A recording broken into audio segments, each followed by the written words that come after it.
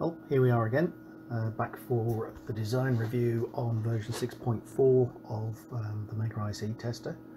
Um, although I've added current protection and over voltage and reverse voltage protection on the previous version of the printed circuit board, um, there was no current sensing um, and I wanted to add that to the project. So um, this version of the board has got quite a bit more um, complication on it. I've removed all of the through-hole components. Um, we've now got a PCT fuse on each of the Arduino pins, adding additional protection.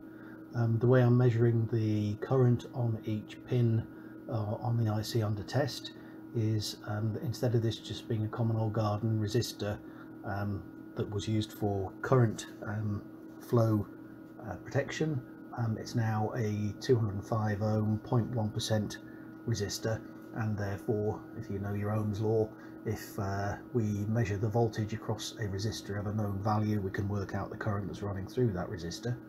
Uh, so um, here we've got three uh, 4067 16 channel analog multiplexers.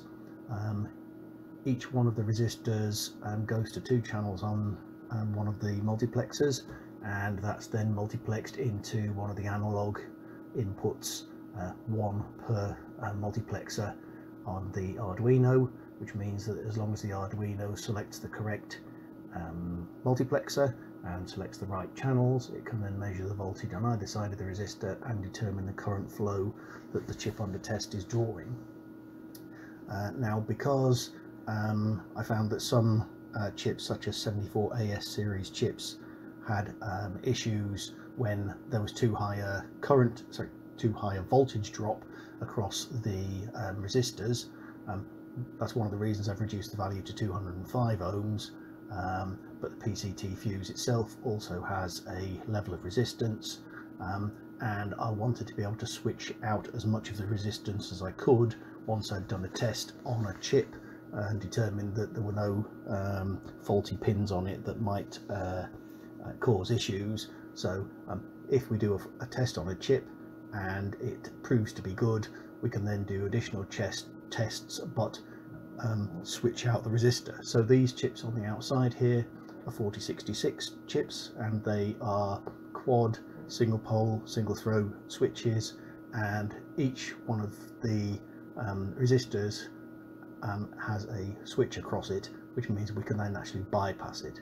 We have some passive resistance left even when the 4066 is uh, switched on um, but it does mean that we can switch um, uh, resistors out of the test circuit and get and get better um, results from it. Uh, so uh, as, as, well as the 4066s, the 4067s, we've got a 2.5 volt precision voltage reference up here. Um, this one's good to 0.02% and using that and reading it on one of the Arduino pins means we can then get um, we can calibrate our Arduino um, analog inputs and ADC and the ADC and get uh, much more precise readings. Um, so I've got rid of the, the through-hole components, moved things around on the board. Um, this is now the buzzer down here. I've added this um, jumper up here which can go down to the real-time clock module and if we just flip it around and look on the other side um, we've just got some current sorry some bypass capacitors on this side. Move the LEDs around a bit. Um, and the board is thicker because it's going to be a four layer board with ground and uh, power planes. Um, and uh, what I want to do is before I actually go ahead and do something with this I'm going to um, validate the circuit um, with um, a breadboard mock-up. So that's what's coming next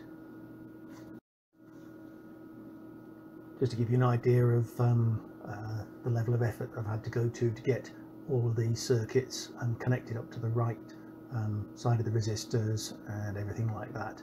If we just take the um, through-hole components and the surface mount components off the board and we zoom in a bit you get an idea of the sort of like level of density and uh, the complexity of the routing that I've had to um, implement. So here we are going up through all the um, uh, the analog multiplexer chips. I've got all the all the circuits coming up and going up to the uh, PCT fuses and the uh, Schottky and diode networks and across here the 46s 4066 circuits have to link through and also go across the resistors. So it was quite a challenge to get this done.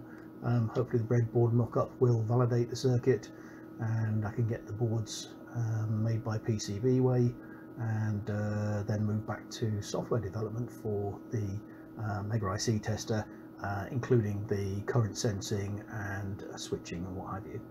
Alright, hope you enjoyed this. Come back soon for another video. Bye.